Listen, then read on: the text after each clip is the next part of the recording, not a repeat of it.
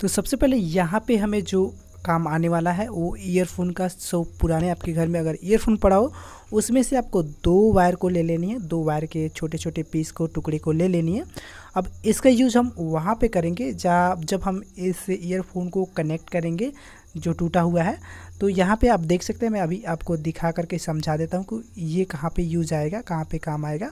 तो यहाँ पे आप देख सकते हैं, ये दो ईयरफोन हो गए स्पीकर यहाँ से हम वायर को बराबर अगर करते हैं, ठीक है, इधर से हम बराबर करते आए और इधर से हम बराबर करेंगे तो यहाँ पे आप देख सकते हैं, एक वायर जो कटा हुआ है, वो छोटा पड़ रहा है थोड़ा सा छोटा पड़ा है तो इसी गैप को, इसी को पूरा करने के लिए हम यहाँ पे दो वायर के, दो ईयरफोन के वायर के पीस को ले लिया है, पुराने ईयरफोन के वायर को।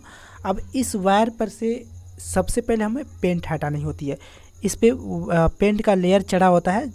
अगर आप इसे ऐसे ही कनेक्ट करिएगा हाथ सर हाथ से तो ये वर्क नहीं करेगा, ये स्पीकर नहीं बजेगा। तो इसके पेंट को हटाने के लिए आपको सिंपली सोल्डिंग आयरन पे रंगा को लगा लेनी है कुछ इस प्रकार से।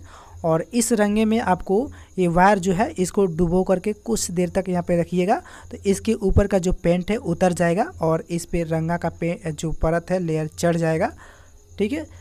तो इस प्रकार से अगर करिएगा तो इसका जो जो भी, जब भी इसे कनेक्ट करिएगा तो आपका जो स्पीकर है हंड्रेड परसेंट वर्क करेगा, बजेगा पहले के तरह यानी बिल्कुल नए की तरह। तो यहाँ पे आप देख सकते हैं जो कट पीस था, ठीक है एयरफोन का वायर का जो कट पीस था, उस पर भी हमने दोनों तरफ़ से रंग के परत को चढ़ा दिया है, ठीक है। यहाँ पे आप देख सकते हैं, ये कट पीस वाला है, यहाँ पे चढ़ा है और यहाँ पे भी रंगा का परत चढ़ चुका है। और ये ईयरफोन वाला है स्पीकर वाला और ये ईयरफोन वाला है। सभी पे हमने लगा रंगा को लगा दिया अब इसे कनेक्ट करते हैं। जो भी वायर का जो कट पीस हम लिए थे, उस वायर को यहाँ पे हम कनेक्ट कर रहे हैं ईयरफोन वाले, यानी स्पीकर वाले पे। स्पीकर वाले वायर में यहाँ पे हम दोनों वायर को यहाँ पे कनेक्ट कर दिया है। अब यहाँ पे हम मजबूती के लिए यहाँ पे गांठ लगा देते हैं। कुछ इस प्रकार से इसमें गांठ लगा देंगे। ताकि जब भी ये ईयरफोन खींचेगा स्पीकर जब कान में लगा होता है तो मोबाइल इधर उधर होने से खींचता है। इसीलिए यहाँ पे गांठ लगा देंगे, ताकि ये काफ़ी मज़बूत हो जाए और ये जल्दी टूटे, खुले नहीं, ठीक है? इसलिए यहाँ पे हमने ज्वाइंट के पास गांठ लगा दिया है, ताकि ये काफ़ी मज़बूत हो जाए। अब देखिए, ये है हीट श्रिंक ठीक है? ये पतला वाला हीट श्रिंक पाइप है। तो इस पाइप को यहाँ पे हम लगाएँगे जो जहाँ भी खुला है, जहाँ भी वायर यहाँ पे देखिए, यहाँ पे खुला पड़ रहा है। तो इसी को कवर करने के लिए, इसी को यहाँ पे तोपने के लिए यहाँ पे देखिए, वायर जहाँ तक खुला है, उस उसके नापी के अनुसार यहाँ पे हीट श्रिंक पाइप को काट लेनी है। उसके बाद से यहाँ पे जो खुला वाला वायर है, उसमें डाल देनी है। कुछ इस प्रकार से। ठीक है? उसके बाद से यहाँ पे आप देख सकते हैं मैंने पाइप को डाल दिया है हेड सिंक को और उससे मोटा वाला हेड सिंक वाला ये पाइप है ठीक है? इसे हम थोड़ा बड़ा काटेंगे पहले के अपेक्षा तो यहाँ पे ये इतना बड़ा काटेंगे ताकि यहाँ पे पूरे के पूरे ये जहाँ तक भी ज्वाइंट है वहाँ पूरा का पूरा उस कवर कर ले। उसके इसीलिए मैंने यहाँ पे मोटे वाले वायर को थोड़ा आ, मोटे वाले हीट श्रिंक पाइप को थोड़ा बड़ा रखा और इसे ईयरफोन वाले वायर में कुछ इस प्रकार से पूरे डाल दिया और डालने के बाद से, उसके बाद से इसे वायर को हम कनेक्ट करेंगे। ठीक है, यहाँ पे देखिए, अब ये दोनों वायर को यहाँ से हम कनेक्ट कर देंगे। ठीक है तो यहाँ पे हम पेस्ट लगाते हैं ताकि ये सफ़ाई के साथ सोल्डिंग हो सके, मज़बूत भी हो सके। इसलिए यहाँ पे हम सोल्डिंग सोल्डिंग कर देते हैं पेस्ट को लगा करके और ये दूसरा वायर में भी पेस्ट लगाएँगे और इसमें भी सोल्डिंग कर देंगे। अब मुझे पता है कि इनमें से बहुत ऐसे लोग हैं जो पूछेंगे, ये हीट सिंक कहाँ से ख़रीदेंगे, कहाँ से लाएँगे? तो उसकी टेंशन लेने की ज़रूरत नहीं है। इस वीडियो के डिस्क्रिप्शन बॉक्स में उसका मैंने लिंक डाल दिया वहाँ से उसे आप इजीली बाई कर सकते हैं, घर मंगा सकते हैं। अब यहाँ पे आप देखिए, जैसे इधर हमने गांठ लगाया था, उस सेम वैसे ही इधर भी हम गांठ लगा देंगे ताकि दोनों तरफ़ से मज़बूत हो जाए।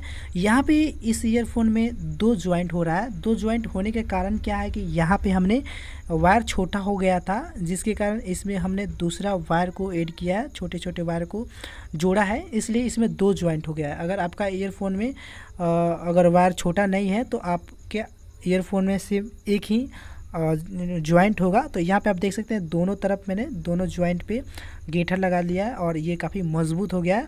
अब उसके बाद से जो मोटा वाला हेड सिंक पाइप आपने डाला था, उसको ये जो खुला हुआ है, ठीक है, जहाँ पे ये ज्वाइंट हमने किया है अभी अभी उसके ऊपर कुछ इस प्रकार से चढ़ा देनी है इस मोटे वाले हीट श्रिंक पाइप को। देखिए ताकि ये जो खुला एरिया है, ये बिल्कुल कवर हो जाए और बिल्कुल पता ना चले कि हाँ यहाँ पे ज्वाइंट हुआ है वायर तो यहाँ पे आप देख सकते हैं खूब अच्छी तरीके से ये आ गया है बीच सेंटर में जहाँ पे हमने ज्वाइंट किया है। अब इसे क्या करना है? मोमबत्ती पे मोमबत्ती को जला करके उसके ऊपर कुछ इस प्रकार से इट इस हीट श्रिंक पाइप को कुछ इस प्रकार से अगर आप सेकिएगा, ठीक है? तो ये बिल्कुल पिचक जाएगा। पिचक के एकदम से बराबर हो जाएगा। जैसे ईयरफोन का वायर था, वैसे ये प्लेन हो जाएगा, पतला हो जाएगा, ठीक है? ये बिल्कुल भी पता नहीं चलेगा। यहाँ पे आप देख सकते हैं कुछ इस प्रकार से। और ये आपका ईयरफोन का जो रिपेयरिंग वाला प्रोसेस है, ये कंप्लीट हो चुकी है। और यहाँ पे आप देख सकते हैं हमारा जो ईयरफोन है, बिल्कुल बन करके रेडी हो चुका है। और ये बिल्कुल भी नहीं दिख रहा है इसमें कहीं भी ज्वाइंट और यहाँ पे आप देख सकते हैं दोनों वायर को हम अगर इकट्ठा करते हैं तो थोड़ा बहुत थोड़ा बहुत अगर देखिएगा पास से तो अंतर दिखेगा ना दूर से बिल्कुल भी पता नहीं चलेगा। यहाँ पे आप देख सकते हैं, कुछ इस प्रकार से ये नए के जैसे बिल्कुल हो गया है और ये हंड्रेड परसेंट वर्क कर रहा है। अगर आपका भी यही प्रॉब्लम है तो आप इस छोटी सी ट्रिक्स को अपना सकते हैं और अपने ईयरफोन को ठीक कर सकते हैं। वीडियो अच्छी लगी हो तो वीडियो को लाइक कर दीजिएगा। अगर आप इस चैनल पर नए हो तो चैनल को सब्सक्राइब करके बेल आइकन भी प्रेस कर लीजिएगा और शेयर करिएगा उन लोगों के पास जिन लोगों को इस वीडियो की ज़रूरत है। Thanks for watching